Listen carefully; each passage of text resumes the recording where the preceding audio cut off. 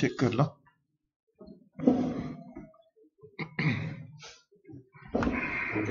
okay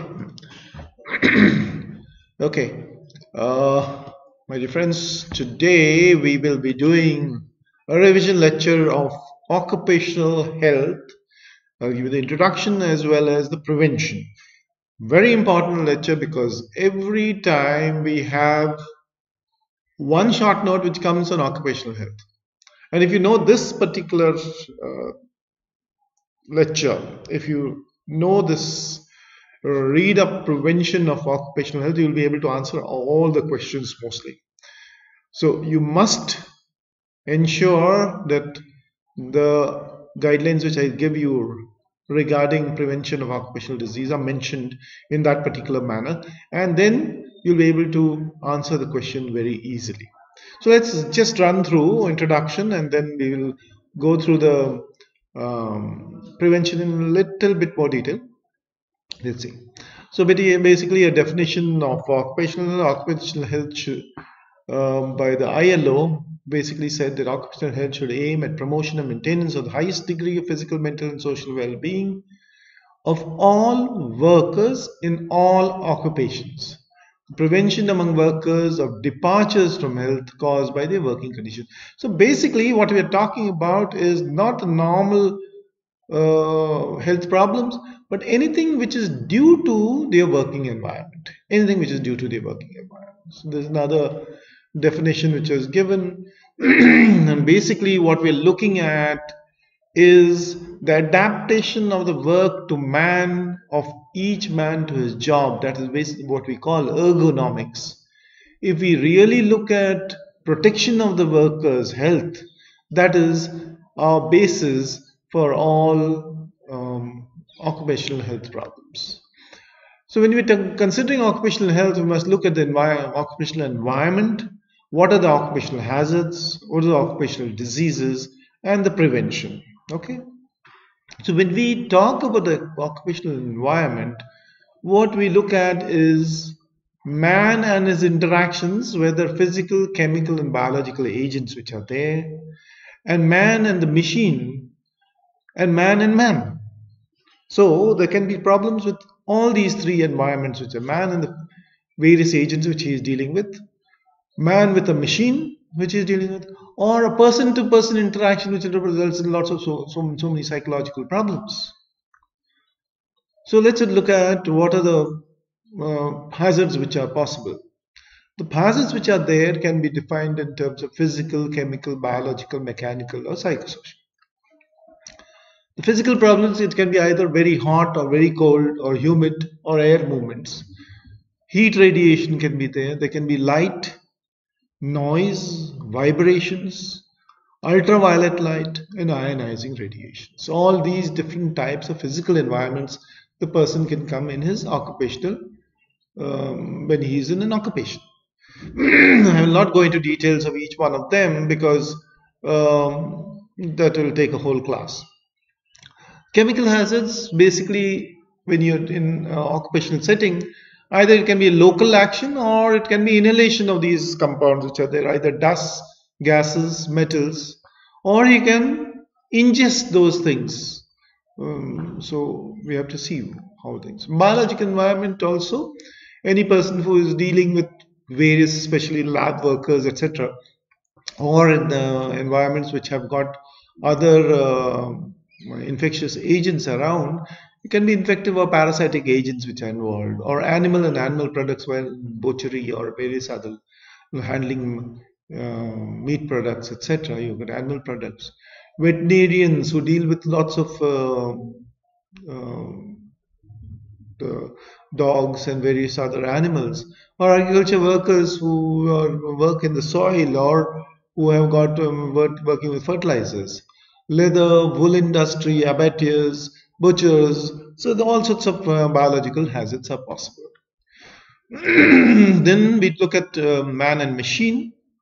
That is power driven machines which are there which can result in various problems of uh, types protruding or moving parts poor installation the safety measures are lacking or if the person is in an uncomfortable position or unphysiological posture for doing his job that results in problems mechanical hazards like accidents involving moving parts or protruding parts heavy machinery, construction industry, or malfunctioning of lifts and cranes, all these things can cause occupational or mechanical hazards.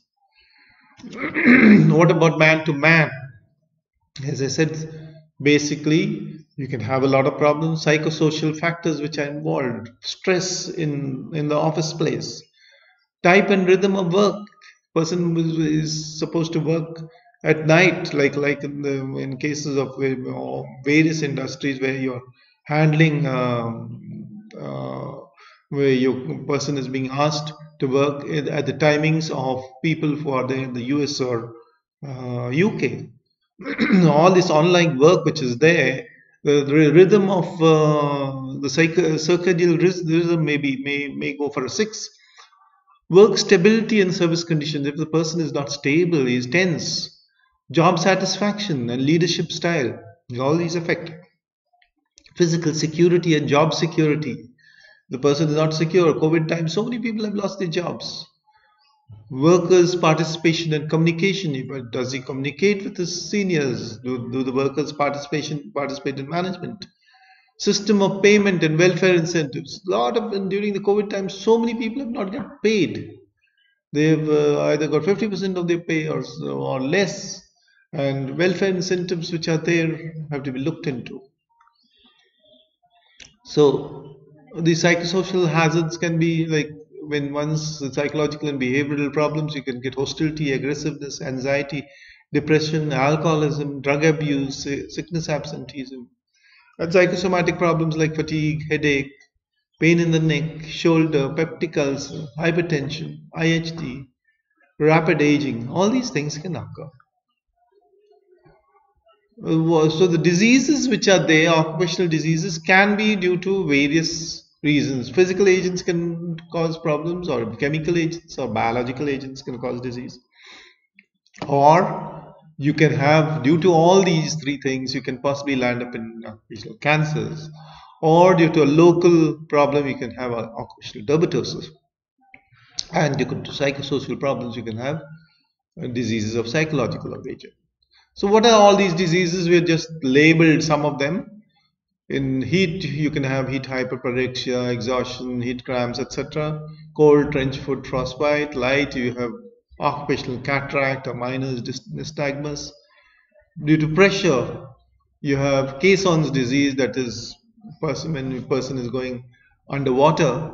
Caisson's disease, air embolism, blasts, explosions. Noise, you can get occupational deafness. In radiation, you can get cancer, leukemia, aplastic anemia, pancytopenia. Then you can have mechanical factors resulting in accidental injuries or electricity resulting in electrocution and burns. And various dusts can cause pneumoconiosis. This comes. This is a very very common question. Pneumoconiosis. So two, uh, we, can, we should look at different types of dust. One is inorganic dust and organic dust. Inorganic dust like coal resulting in anthracosis, silica resulting in silicosis, asbestos resulting in asbestosis or lung cancer, and iron resulting in siderosis. There are a few of them. Organic dust like cane fiber resulting in bagassosis, cotton dust resulting in byssinosis, tobacco resulting in tobaccosis and hay or grain dust resulting in farmer's lung. In chemical agents, you can have gases, carbon dioxide, carbon monoxide, or um, various other ammonia, nitrogen, hydrogen sulfide, any of the gases. Gas poisoning can result. Metal, you can have various metals causing various types of problem, lead, mercury, cadmium, manganese, beryllium, arsenic, chromium or chemicals like acids, alkalis, or pesticides, and solvents like carbon disulfide, benzene, trichloroethylene, chloroform. These are all the prob problems which can occur. uh, let's just give you a glimpse of uh, various what what various uh, things can cause. Lead can cause anemia, hypertension, nephritis, peptic ulcer. Dyes can result in asthma, skin, bladder, and kidney diseases, precancerous conditions. Solvents can result in liver and kidney damage, dermatitis, alcoholism. Silica can result in uh, can aggravate a tuberculosis lesion which is there or and cause chronic lung disease. Radium or X-rays they can cause blood diseases. And you've got various biological agents which can cause um, problems like brucellosis, leptospirosis, anthrax, actinomycosis, hydatidosis, psittacosis, tetanus, encephalitis, fungal infections, all these can be caused in because of occupational disease. Cancers, you can have cancers of skin, lungs, or dermatitis, occupational dermatitis, eczema, or psychological origin, you got industrial neurosis, hypertension, peptic ulcer. now the very important portion of our lecture that was also very important this is another important portion that which deals with prevention of occupational hazards and please remember whenever you want to deal with these things try and do it either in primary uh, prevention uh, secondary prevention tertiary prevention or deal uh, better is to deal it in this in occupational hazards deal it in this manner medical measures engineering measures legislative measures.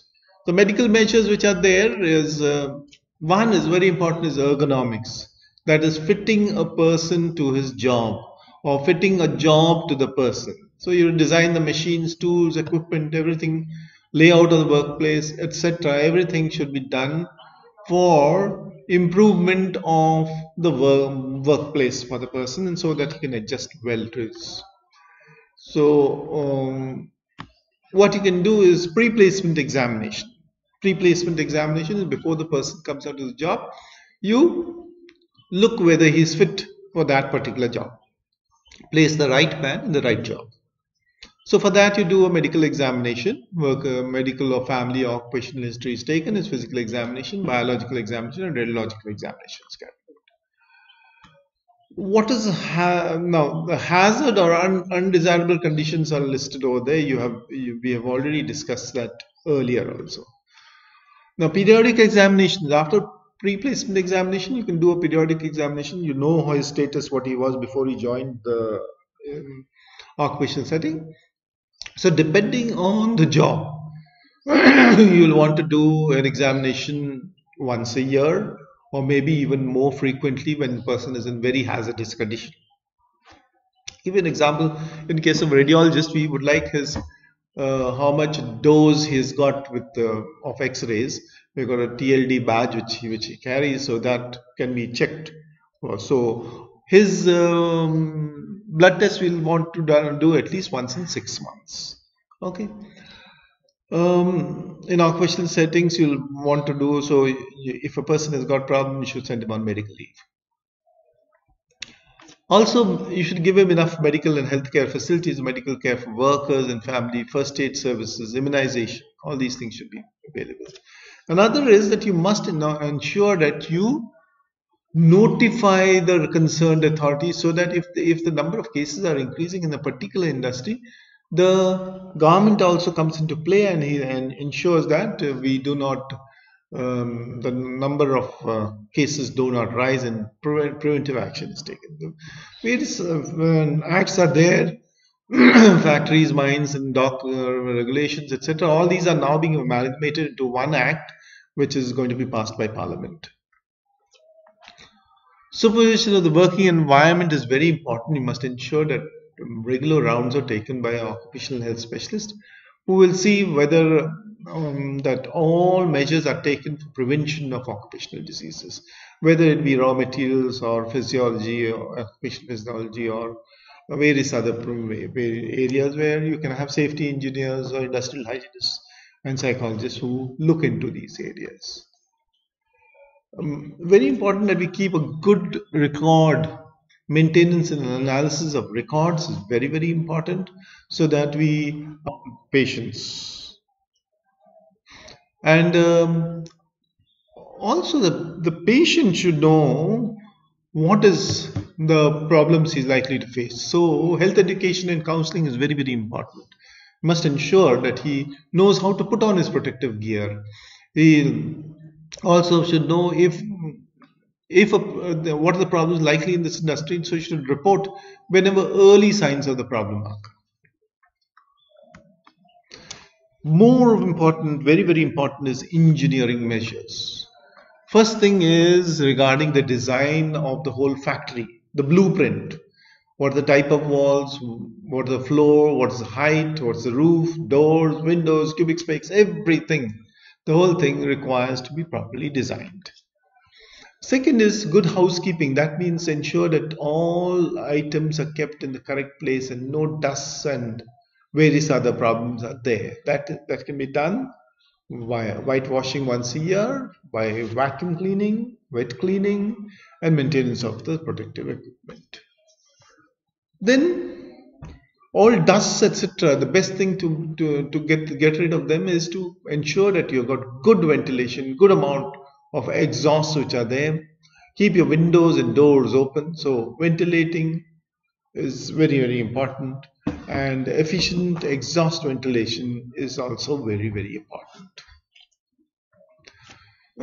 mechanization as far as possible ensure that the person doesn't come in contact with hazardous stuff so mm, wherever possible wherever, wherever there is likelihood of dermatitis or dust or etc you should ensure that you get the machine to do it rather than get a person to do it. Okay in places where you can substitute a particular substance you can ensure that you substitute that substance. So earlier we used to have what is called phossy jaw which used to occur whenever we used matches match matches were made with white phosphorus so you could uh, just scrape any surface and it would to light up and that the manufacture of that resulted in uh, phosphorus being absorbed resulting in phossy jaw. So we can we now replace that with uh, phosphorus sulfide which is which is not doesn't get absorbed so much. Lead paints again due to iron uh, the um, lead paints which are they produce a nice glossy paint surface. But this can be done even with zinc or iron paints. Or mercury which is there can result in various problems in the human body but it can be replaced with silver salts. Or benzene which can be replaced with acetone. Thus particles fly in the air when they are small but when they are laden with with uh, with uh, humidity with uh, with moisture they settle down. So the best way is to spray water wherever there is dust. So wet drilling of the rock or whenever you're grinding sieving or mixing you must ensure that humidity is high and the dust will settle down. enclosure, wherever there's a there's a contamination, enclose that process. Enclose that process so that and put an exhaust. Enclose the process and put an exhaust so that that that, that particular process um, humans don't come in contact with it and the exhaust takes away the dust etc. Isolation. So if a particular process is very hazardous and there's too much of this thing which is there, you can do it with totally isolating that and workers need not go into that area. So you can do it remotely. then you can have um, um, body clothing for protection against heat.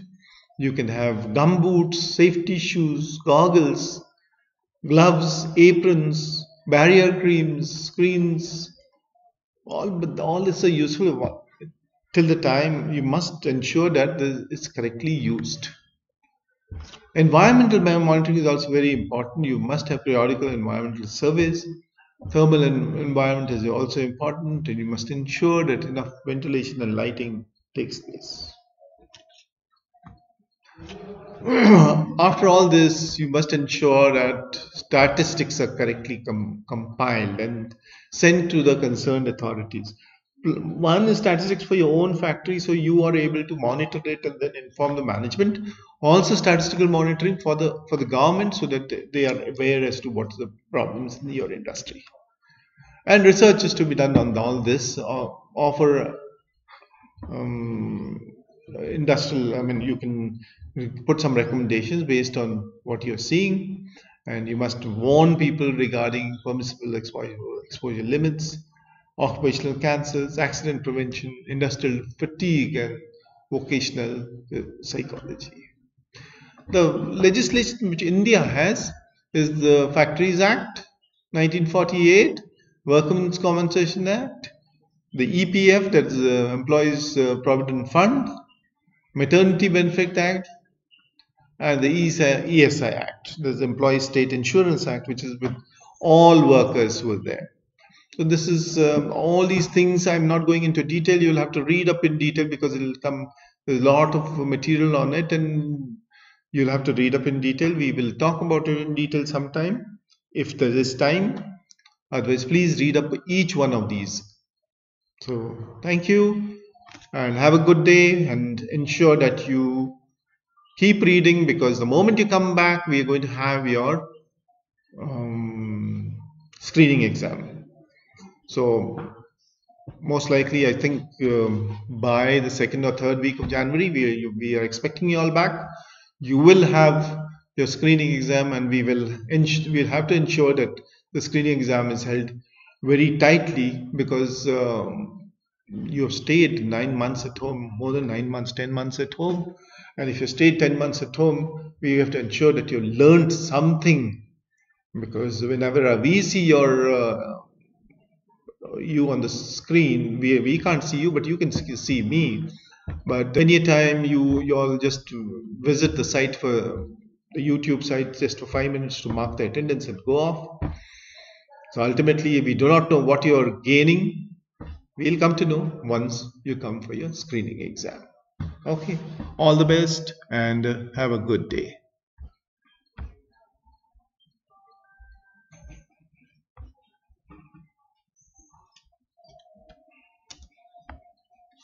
Is it?